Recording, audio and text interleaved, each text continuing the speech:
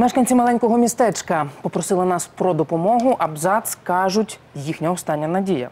Ну дійсно, місцева банда грабує будинки, а міліція в цей момент робить приблизно отак. Ну тому з'ясувати та Або так. або так, та дійсно. Тому допомогти людям зголосився наш авантюрний Олексій Іщенко. Абзац неподалік Києва. Глебовка, 50 километров от столицы, сравнительно благополучное село. Было до определенного момента. После Нового года в течение нескольких дней обчистили более 20 домов. Да, просто пришли, выбили окна, двери и унесли, что пригляделось.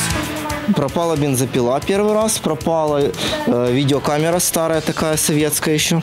И я коллекционирую машинки маленькие. И жменя машинок, вот так коробку взяли и Смешно сказать, но не успело пройти и полгода, как жители ограбили по второму кругу. Тільки були затихли, бо тут щось е, сказали, що когось знайшли. Ну не знаємо, чи знайшли, чи не знайшли, повідпускали їх. А це знов таки ось о, підряд. По три, по чотири хати йде цілу ніч і все. Все дома, попавшие под грабеж, находятся на трех параллельных улицах. Отличаются привлекательным внешним видом и тем, что хозяев зачастую нету дома. дома грабят тех, кто приезжий, вот дачники. Из чего следует, что работают либо местные, либо по наводке. Схема проста, как апельсин. Проникают во двор через забор, выбивают стекло, После того, как наши юные грабители выбивали стекло, они бережно откалывали осколки стекла и аккуратненько, любезно складывали на подоконник, ну, чтобы не быть услышанными. Затем, самое интересное, размер отверстий, через которые проникали вовнутрь, как бы намекает на рост и, вероятно, возраст воришек. Вот вот этого окошко залезли. вот. Як ви думаєте, сюди взросла людина залізе? Не гномы же завелись. Кто залезет вот в это вот разбитое стекло, кроме детей, малолеток? Дірка була невеличка така, таке видно, як дитя воно туди залазило. Ну, сусіди вночі бачили, що два хлопці якісь, каже. Один був, каже, в білій куртоці з капішоном, другий був темний з капішоном. Втекли вони, бо в нас работала сигналізація. На подъездах к селу мне удалось встретить ребятишек, подходящих под описание грабителей, но местная детвора о таких движах вообще не в курсе. Я не знаю. Не знаешь? Я вообще не з Димира. Так вот, так а что ж оттуда идешь? Гуляв.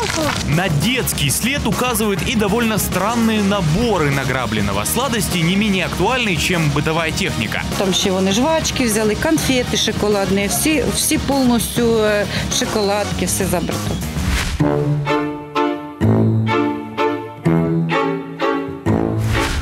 Разбойники отличались несусветной наглостью, даже скорее глупостью. После каждой ходки они оставляли на месте преступления бутылки из спиртного, салфетки, тряпочки. Здесь стояла бутылки, выпивка и закуска.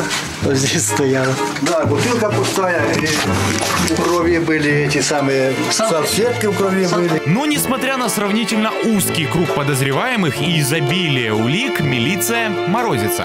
Каже, всі чистять всіх подряд. І ніхто нічого не робить. Як до нас приїхали міліція, ну, з повчаса побула, напевно. Вони от показання наші зняли і все. Ну, у нас ніхто не відпечатку пальців не знімав, нічого абсолютно. Может, правоохранителям это покажется и странным, но жители села очень встревожены, мягко говоря. Бо уже люди бояться. 47 хат.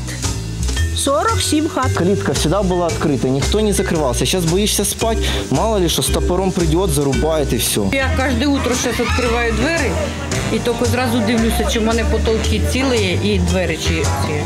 То ли в шутку, то ли всерьез, некоторые уже подумывают оставлять у калитки бытовую технику, так сказать, отдавать дань, чтобы хоть окна не били. А пока мы снимаем этот сюжет, доходит слух, что на другом конце села утром вскрыли еще один дом. На место происшествия приходим намного раньше товарищей милиционеров. Вкрали бухту проволоки, вкрали, велосипед украли. От. А у хаті е, вона каже, я ще нічого не розберу, бо опергрупа приїде, то каже, будемо дивитися. Вже ж я... А милиция не приехала? О, ні. Уж было собрались идти обратно, как один из местных жителей узнает подъезжающую машину правоохранителей. Идем следом. Но стражи порядка проехали мимо. М, Видимо, заблудились. Вообще, их поведение мне напоминает повадки самки оленя. Они такие же нежные и пугливые. Э, будь то место преступления от нас убегают, будь то их рабочее место, они все равно от нас убегают. Ладно, в селе могли испугаться, но здесь же, прямо под местным управлением МВД, подъезжают к центральному входу, помпезно так, увидели нас, узнали и плавненько дают заднюю. От безысходности идем к сельскому голове. Пусть милиция занимается этим вопросом. А ви зачем здесь сидите? Ну, по- почекайте, е, є орган виконавчої влади. Ну я не, не, не зобов'язаний охороняти майно громадян. А что вы за- обязаны делать? Згідно чинного законодавства діяти. Згідно Що? закону Що? Що? України про органи місцевого самоврядування. Є закон України, я керую цим законом. І все. Канцелярия. Ну яка канцелярія? К тому же голова считает, что домов было ограблено не 40, не 30, а 7. Крадіжки були десь в будинках 7-8 будинка. Крадіжки були. И я бы попытался поверить на слово этому замечательному человеку, если бы... Просто мы вчера насчитали только где-то аж домов так 10, плюс два Не магазина. знаю, в мене ну два магазини до скільки, на 40 вже 7. Тут либо кто-то кого-то упорно прикрывает, либо кому-то срочно нужно подписаться на сельский вестник. Ну, конечно, главу сельсовета обидеть может каждый, а вот товарищей милиционеров, прежде чем, так сказать, обидеть, нужно еще и догнать. После первого нашего визита у милиции что-то ёкнуло, и они сразу нашли преступника. Даже стали ездить доследственные эксперименты устраивать. Мы это заметили, давай за ними, а они убегать снова. Признаться, я оценил транспорт наших правоохранителей. В этот раз машинка у них уже покруче. Вот только подъехали, окошечко прикрыли и рванули со всеми нарушениями правил дорожного движения. Не, извините, но это уже не дело. Я отправил запрос в МВД с просьбой пролить хоть какой-нибудь свет на ситуацию и рассказать, на каком же этапе находится следствие. И на мое удивление ответ пришел довольно быстро. Подозреваемый таки найден и даже задержан. Це е, чоловік 1987 року народження. Він місцевий, сам із Глібовки.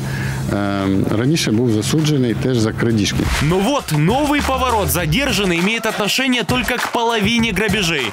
Так что, товарищи милиционеры, не расслабляемся, а встаем и идем работать. Мы уж проконтролируем, а то развели тут гарлем посреди украинского села.